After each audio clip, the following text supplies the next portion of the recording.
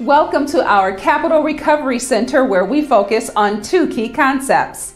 How can we help you with your recovery today? And what does recovery mean to you?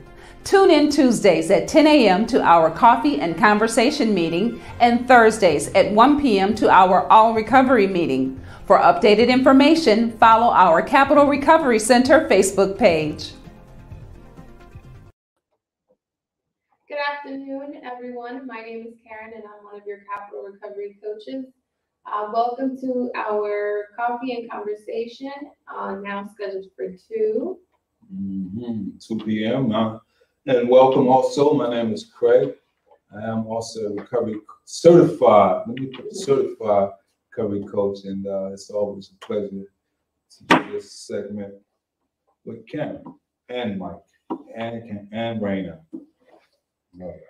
So we have a host of uh, new meetings and events uh, coming up for the month of May and also for um, consistently for the future.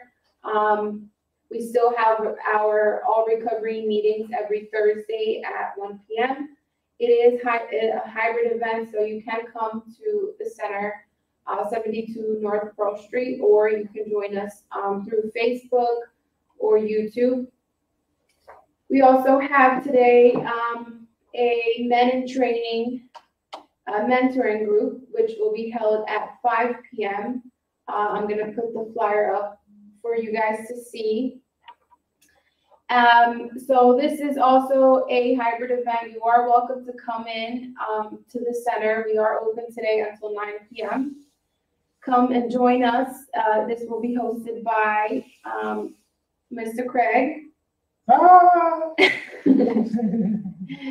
Uh, we also have our Gratitude Tuesdays um, virtual meeting. It's also a hybrid event. You are welcome to come in. Um, we are trying to do activities to show uh, ways we can uh, show our gratitude for ourselves and uh, our like our gratitude during our recovery. Uh, this is held every Tuesday at 7 p.m. If you see the flyer up on the screen. This is also a hybrid event. You're welcome to come in. I believe I already mentioned that. And then our family meeting, which will be held this Saturday. It's held every third Saturday of each month. So this Saturday, Saturday, May 21st.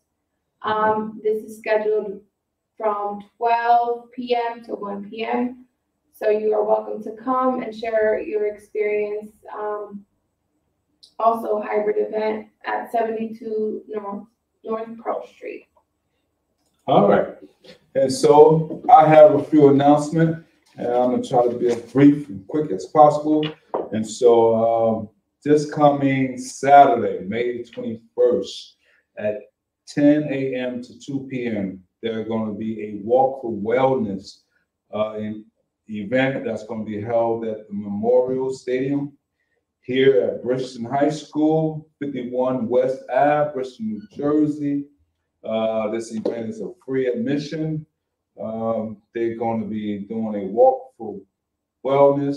Uh, some of the uh, people, healthcare workers, are going to be there from Acenda, New Jersey Family Success Center, Greater Bridgeton area, and Inspira Health.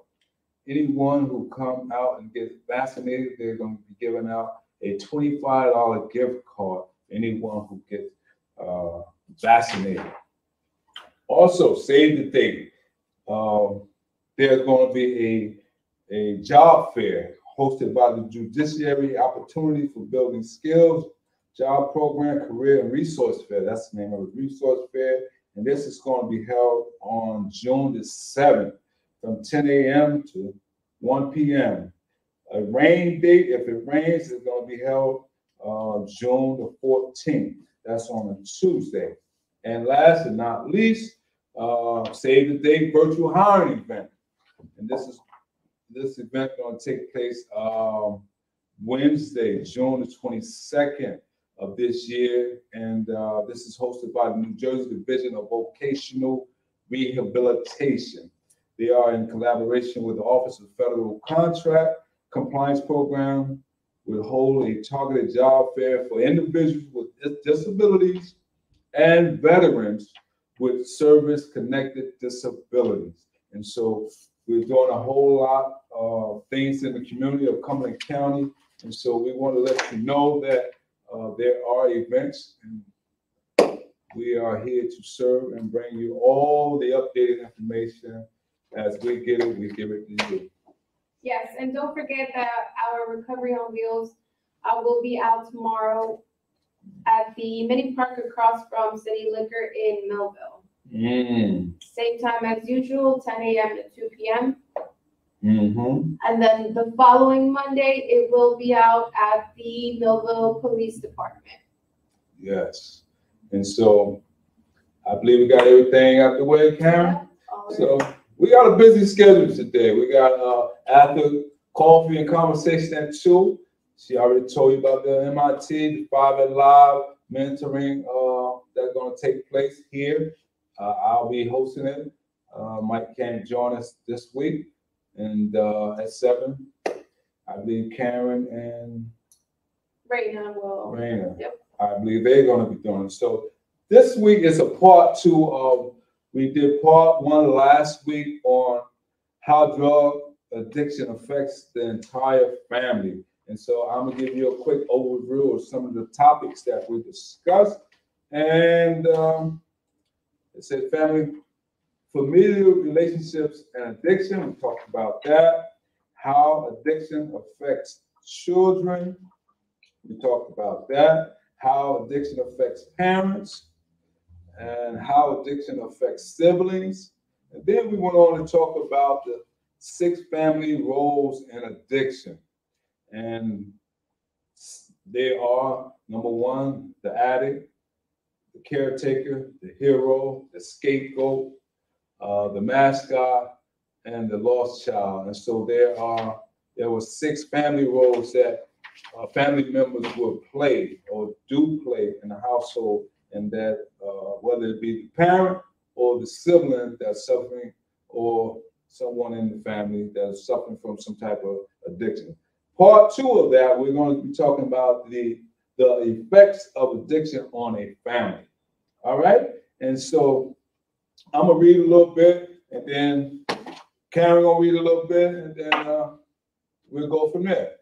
And so it says, oh, oh, also, this article is from peacevalleyrecovery.com. We want to give them a shout out because uh, we don't want to take it for granted or let someone take it for granted that this is coming from us. And so this article is from them. And the, effects of addiction on a family. Just like addiction causes a variety of effects on the person using substances, it leads to another set of effects on the family.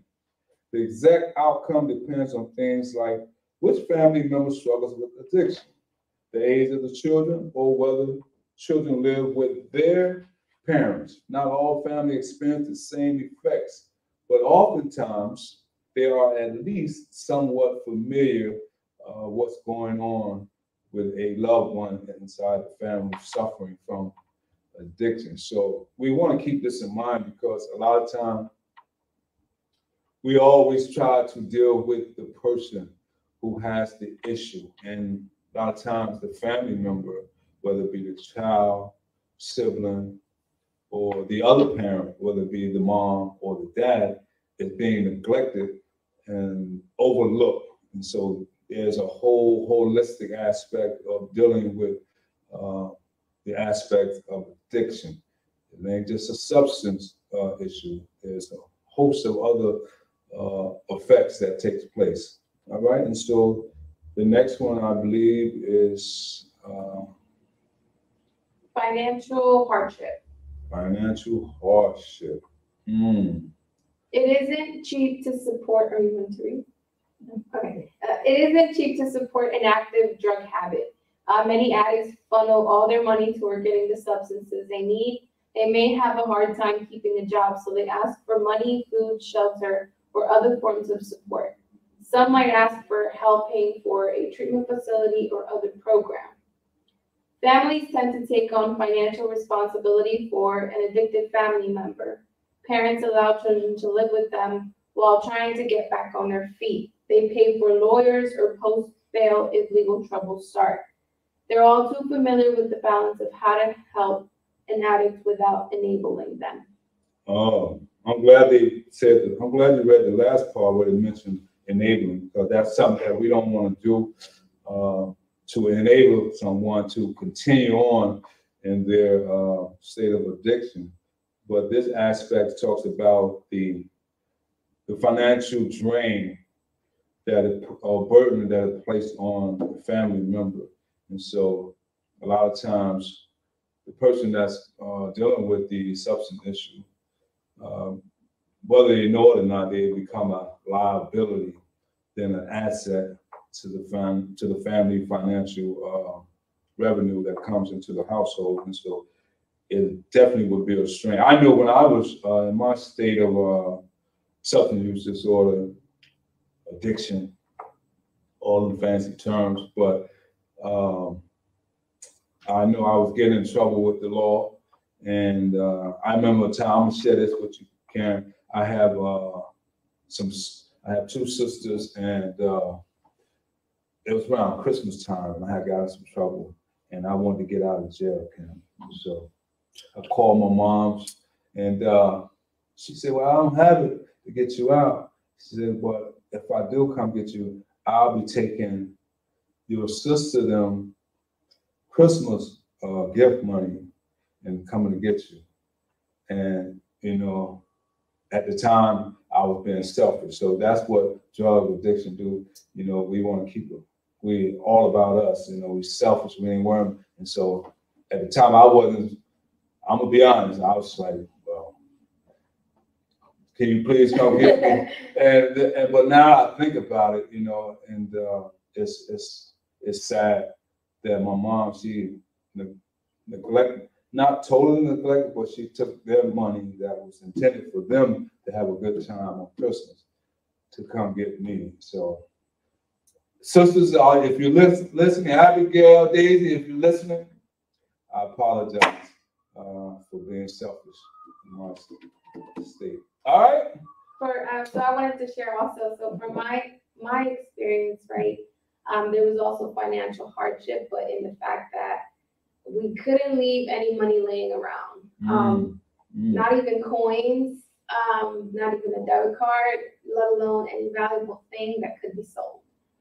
Uh, it came to the point where we pretty much didn't have anything that, that was like luxurious looking, because if not, it was definitely gonna be sold. Mhm. So everything had to be guarded. Yep, Yeah, so that's, you know, that's an uncomfortable situation where everything had to be guarded due to a loved one who's suffering.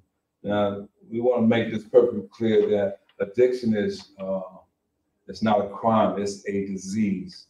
And so people who suffer from this disease need help. And so that's why we're getting the message out, uh, that there are a whole host of aspects that one goes through uh, not only the individual, once again, this article talks about how drug addiction affects the en- entire family. All right, the next one says increased risk of abuse. As, a- as addiction process progresses, people become unpredictable and difficult to deal with. All right, it says they are erratic, frustrated, and angry, lashing out at those closest to them. Drugs and alcohol affect an individual inhibitions. People are more likely to act out while under the influence. Mind altering state. Basically, what he's saying is a person who's under the influence of substances, uh, nine tenths of the time, their, their natural or normal state of being has been altered. So they we have a tendency to lash out because we want what we want when we want it, you know, and regardless of who get hurt, uh, it's very cunning, baffling, and manipulative. And so one of the most serious ways of addiction affects the entire family is the higher risk of abuse. There is a higher likelihood that family members may experience violence at the hands of an addict, whether it's emotional, physical, or sexual abuse, the risk increases. And so like I made mention earlier, it's not all about the substance uh, effects of the drugs. There, are there are components where the article talks about the emotional components, the physical and the sexual uh, component, sexual abuse component. And so um, we just, I think this article is so uh, profound because a lot of people may be hiding uh, how they're actually feeling. So that's why I believe, Karen, the, the group that you came up with, uh, family, what is it called again? I'm sorry. Family meeting. It was actually Melissa's idea. Melissa, I Can't take the credit for it. Okay, Melissa, okay, we're gonna take our hat off to you and keep it on as well. But, uh, yeah, because a lot of times, uh, family needs to, uh, speak out and let, let everyone know how they became affected. Because one thing I learned about in therapy and therapeutic community, the TC community, which is a peer-driven community for people suffering from substance use disorder is that in order, the first step to recovery is admitting that you have a problem. And so that goes, I believe, both ways, whether it's from the addict or the family member, you know. Let it be known that how you feel. So please come out Saturday and be a part of what we're doing here as well. And share your story because you're not alone. A lot of times I know I was little, I used to think that things would just only happen to me. And, and one of my teachers said, No, you're not the only person in the world who goes through stuff. There's other people just like you go through not the same or similar things. And so we like to share uh, our information with someone that if we can help, if they're sinking and drowning, we want to throw them a lifeguard or a life jacket and save someone's life. All right. Oh, also, May is Mental Health Awareness Month. May, the month of May is Mental Health Awareness Month. And so, uh, if you know someone who's struggling or who need some help with mental health as well, feel free because a lot of people who suffer from substance use disorder is also suffering from mental illness. They call it dual diagnosis. I sound like I sound like a smart guy when I say that, mm-hmm. right? I'm not, I'm not that smart. Like Mike said, you know, I give, I give the glory to God. All right, Karen, if you want to go ahead, I can. So I just, I just wanted to add on to, given the fact that we're talking about how this affects the family, um, the increased risk of abuse also causes a lot of, uh, emotional instability. I think throughout the entire, um, throughout the entire members of the family. Mhm. I know that it, for me, in my experience, there was a lot of anger, hostility, uh, throughout like the entire experience of trying to help this person get into recovery. Mhm. Mhm. So I just wanted to, to add that. It takes a toll on, on the entire family, you know. And the next one is uh, more addiction in the family. Another impact of addiction on the family unit is the chance that another family member will also turn to substances. Children who grow up with a family member that abuses drugs are more likely to turn to substances. They follow the example set for them. Siblings might use substances as a way to escape the chaos in their house. Oftentimes, substance abuse runs in families. The chances of having more than one person in the family with a problem are high. This creates another pattern of addiction and the cycle starts all over again. Wow. You know, um, a lot of times we, especially for children, they are have so impressionative and they don't have all the um, mental tools or the maturity know-how. And if they're not guided in the right direction, they may succumb to the same behavior, you know, whether it be a sibling or a parent. Because a lot of times um, we may think that is uh, the norm or that is the okay, that person doing it. Uh, not only in my house, but outside my household. I see so many people doing. They look like they're having a good time. They look like they're enjoying themselves. But in the long run, you know, there's consequences uh, to any behavior. You know, and so And the consequences is that you get rewarded for doing good, you get punished for doing something bad. So we want to do, we want to be rewarded for doing what's good. And so just by seeing someone who's appeared, let me say that again, looking at someone who appear to be having a good time can only be uh, far from the truth. You know, it can be uh, imagery uh, that someone putting up that they're actually having a good time. And in all actuality, they can be masking some of the pain and suffering that they're actually feeling. And so they try to uh, drink their uh, problems away or use drugs to get rid of their problems. And a lot of times, when uh, when it's all said and done, when they don't have that substance, reality of the, the issues or the facts still remains. And so we need we need to speak to someone, speak to a recovery coach, a counselor, a therapist, a sponsor, someone to get help. And so feel free to contact us here at Capital Recovery Center, and uh, we'll be glad to uh, guide you in the right direction. Right? And so, broken families. Let's talk about broken families a little bit. The effects of addiction tear families apart.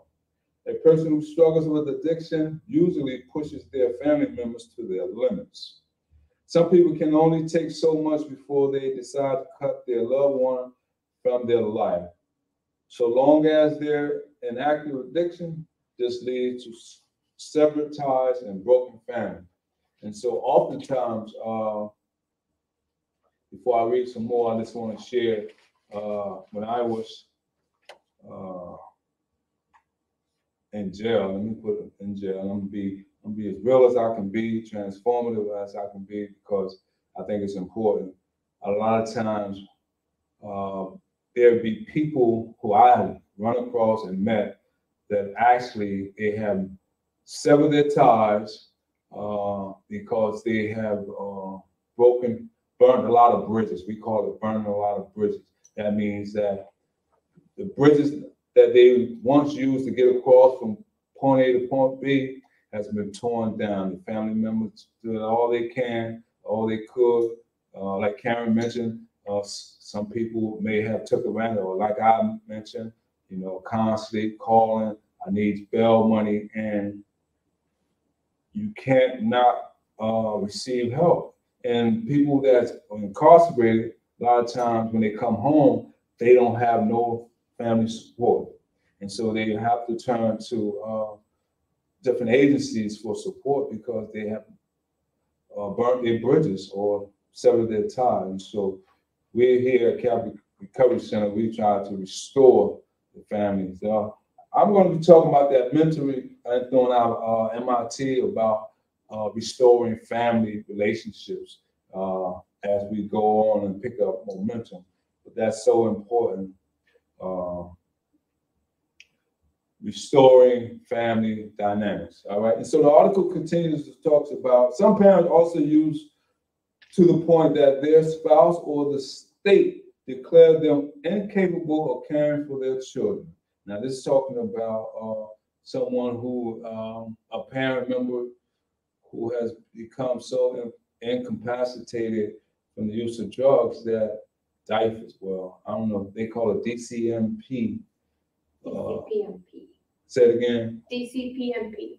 Yeah, them, uh, the, those, they have to step in, foster care, uh, adoption agency may have to take, uh, step in when, uh, the extended family is not able to, uh, help out with, a- with a parent or sibling or family member who having a problem and their child have to depend on the state.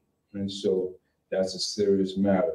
Should, huh? If, and I just want to say, like, if I'm being honest, I, when I was going through, through, you know, through it, um, I actually wanted somebody to call DCPMP on my parents. Cause I was like, um, if, you know, if this person doesn't do it, let somebody, I don't know, intervene or, or help them or guide them. Mhm. And I, I realize that now that I don't know if that would have been the best thing. I think Mhm. whatever happened had to happen the way it happened. Mm. And I'm grateful that we didn't get separated. Absolutely. And so Karen has actually been a voice for the voiceless. I'm, I'm, me too as well. Uh, we try to be the voice for the voiceless because there could be a lot of people who crying out, like Karen said, who is crying out. Is that from the day comments? yeah, Miss um, Miss Dawn Kuzer. Hi, Miss Dawn. Hi, Miss Dawn. And uh, wow. She says that's the truth. The family goes through a lot. It's never just the addict. That's tight, but sometimes family is so involved with what is going on with the addict that they don't realize how it is affecting the whole family. That is definitely true. That's so true. Thank you for sharing, Ms. Dawn. Um, once again, on Saturday, we have a, a family uh, setting where we're asking people to, if they would like to come share. They know someone who would like to share who has been affected by a loved one who um, has been using substance use disorder, and they just might want to tell their story. You know, hopefully we can save someone's life and uh, be the voice for the voiceless. All right, it says children who, thank you for sharing, Ms. Dawn. I appreciate, we, we appreciate that. Children who lose a parent or parents to drugs are left with feelings of abandonment and betrayal, betrayal that may cause them to write their parents off for months, years, or even decades. You heard Karen just said, she said she thanked God that uh, that the, the family unit stayed united and that they didn't have to go through uh, foster care uh, because um, it's so important to be connected with uh, your, your your bloodline, your family members, and but you definitely want all to do all you can to save the ones who are struggling. So, thank you for sharing, Karen, as well. All right, So I continue. help is available. So help is available for, help is available for the families of addicts. It's difficult to cope when a loved one struggles with addiction. You may feel like you've tried everything to get them the help they, the help they need. When your attempts are unsuccessful though, it's painful and disheartening, to say the least. If, even if your loved one chooses to continue using substances, deciding to find help for yourself may be one of the best choices you can make. Mm, Help isn't only available for people who live in active addiction. It's available for the family of addicts as well.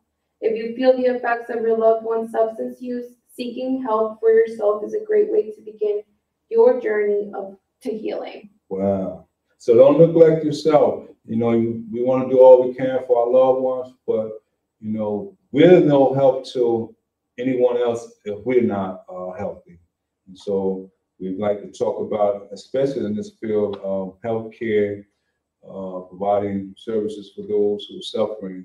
We'd like to uh, talk about it's important to have some type of self-care because um, whether what that may look like to you, it may be journaling, it may take some time to get proper rest, to eat the proper foods, to talk to someone, share, uh, get some feedback, some positive feedback. Whatever that is uh, for you, seek that help. And so, individual therapy. It's, the article says individual therapy is the first line of defense for someone trying to find help as the family member of an, an addict. It's simple to seek out therapy if no one else in the family wants to look for help.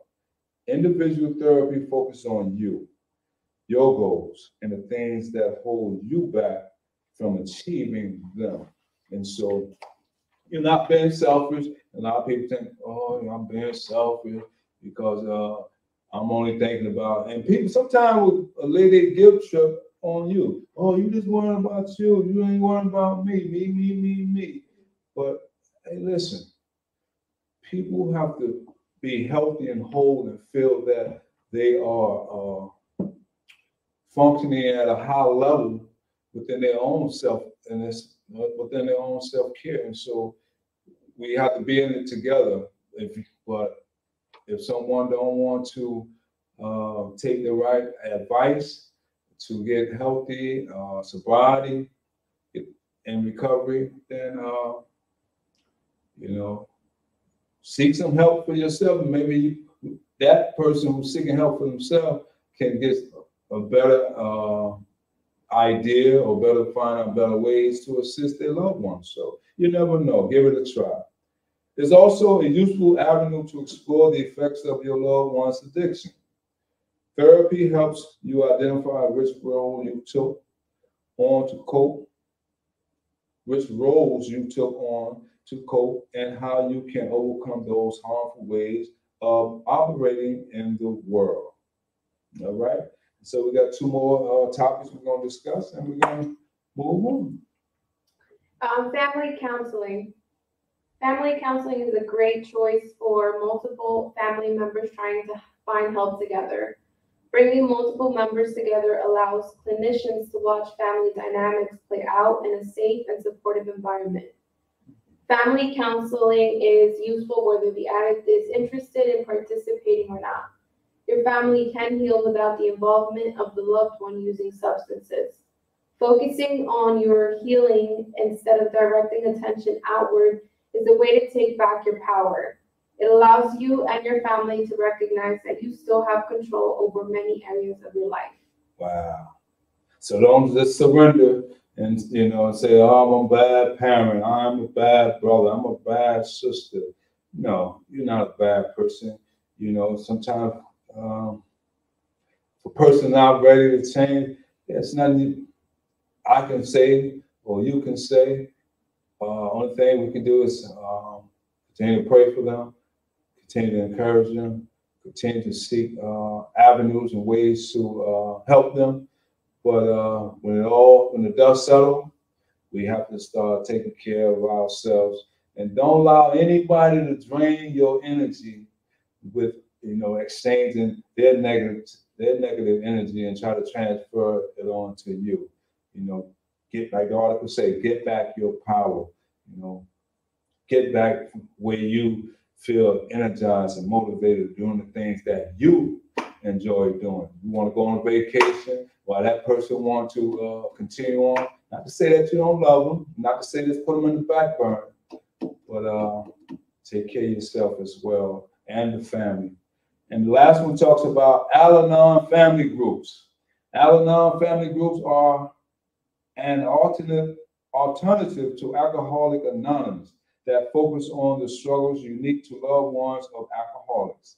Al Anon teaches you to find contentment and happiness independent of your loved one. After years of feeling controlled by their behavior, Al Anon frees you from the hold they have over you. You learn to find freedom and joy amidst the chaos, even if it remains under your roof. And so we are so grateful that we had this opportunity to share with you. Once again, my name is Craig. I am your certified peer recovery coach. Thank you for joining us. Don't forget our um, men in training group at five and our Gratitude Tuesday at seven today. Um, actually, Gratitude Tuesday would be a great way to start with your process of healing yourself. So come join us. Um, again, it's virtual or in person at 72 North Pearl Street. Thank you. Happy Tuesday, everyone.